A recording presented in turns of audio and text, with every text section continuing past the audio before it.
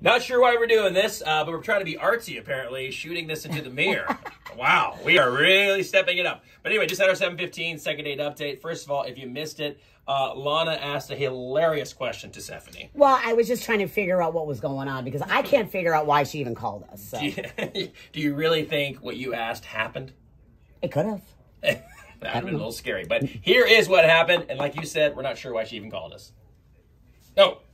Oh. Well, Launa asked Stephanie if uh, she pushed her date Dustin off the pier. oh, well, I was just trying to figure out, I was trying to help.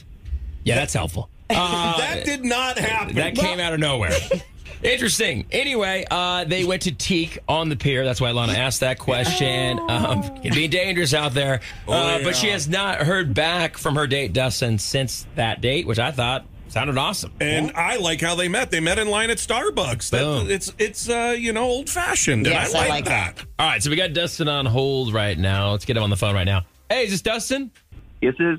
Awesome. So I know Kevin talked to you a little bit, but I wanted to make sure I asked again if it would be okay if we talked to you on the air for a minute, uh, actually about a date you went on. Uh, sure. All right, man. Appreciate it.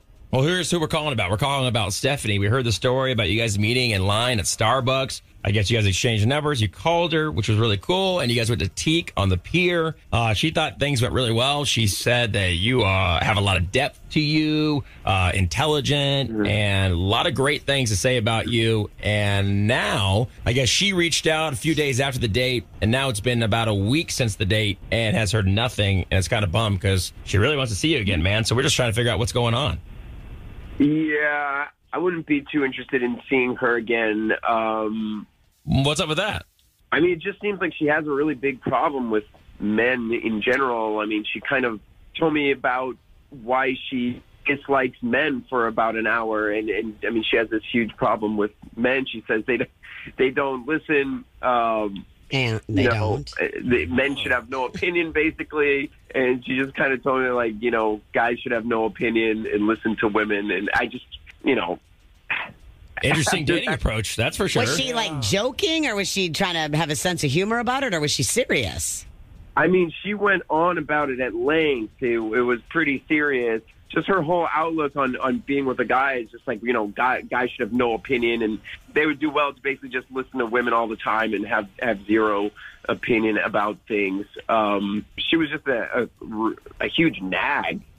You know, I couldn't, Did, couldn't I wonder if she being in a recently just broke up with somebody. Did she mention that? Maybe she got hurt really bad and she's still angry. Not his fault. I mean, not anything particular. You know, I think we did talk about her past and stuff. So she said guys should not have an opinion. Guys should listen to women. And what were some other complaints she had about guys? Yeah, I mean, that was essentially, you know, like they she just said, like guys screw up everything for, you know, whenever, like whenever they talk, the woman is always right, and I just couldn't imagine being in a relationship with her. You know, I, I mean, if she was like that on the first date, she'd be just like a complete nag, you know, in a relationship. Hmm. Okay, well. Well, I mean, doesn't want you to talk. Uh, doesn't doesn't want your opinion. and wants you to listen. Sounds like she wants a mime. Uh, but I don't know if that's going to happen. Uh, Dustin, we actually have Stephanie on the phone with us. I want to bring uh, her back on because she, that's how we got your number. And what's interesting about this whole thing is she was speaking really highly of you. So I'm, And she reached out. She wants to hang out with you. yeah, I'm again. super That's confused about this. Uh, Stephanie, you there? I'm here.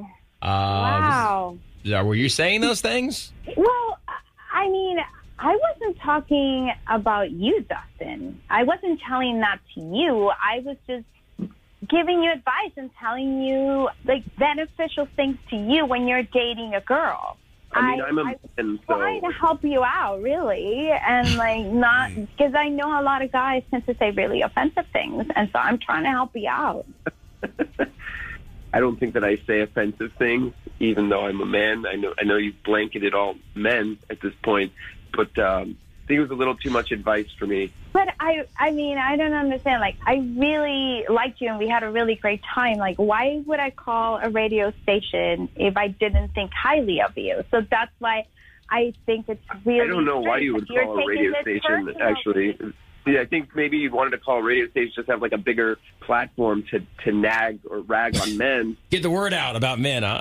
Yeah, I mean, That's like the- not even it. I, I mean, this is the thing. You're taking it personal. And this is what I was talking about.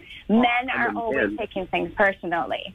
And, and and they always make it about themselves. You didn't even listen to anything that I said. And so you did exactly what I told you that men do. I know. I should just shut up and listen. That's your whole perspective.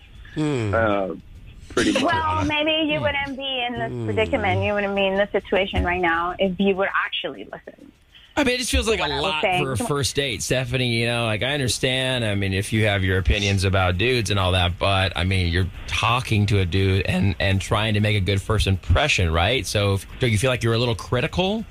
I don't think so. I mean, I think I have my opinion, and I think we were having a conversation. I don't think I was being critical. I mean, if I It's would a conversation when two people are involved in it. That's just you nagging for like an hour. like you using offensive terms like that, me being nagging, it's just it's not okay. I mean, I, I I thought maybe you were doing it to try to be jokey or have a funny sense of humor or something like that. But it sounds like you're you really think this way about men in general. Did you just get burned recently or something? Yeah, I've had I haven't had great luck, to be honest. But Were you trying to I- like maybe see imagine what type why. of guy he was, or change him, or mold him into what you want him to be? I'm not trying to change him. I really like him. I think he is really a great guy. I mean, I wouldn't be trying to pursue him and calling him after he hasn't even he ghosted me pretty much. Well, there's that. So I, I guess the question is, Dustin, she has she is saying nice things about you, um, at first anyway. Uh, but now she does want to go on another date, and she did call us. I mean, would you be willing to go on another date with her? I mean, no. I clearly I I should be working on myself. She's pretty much made made it clear that I got some work to do. So I, I wouldn't burden her. Wow. Well, Stephanie, now you know why he has not gotten back to you. I'm sorry, uh, this is not going to work out. That's uh, it's an interesting approach on a first date. Yeah, Uh, but not you know, smart approach. what's that? It's not very smart. Oh, okay, Launa. Thank you for that. All right, Stephanie. I will say this: uh, we appreciate you reaching out to us, and I wish you luck. And thank you again, Dustin, for your time as well, guys. Sure. Okay, thank you. You got it.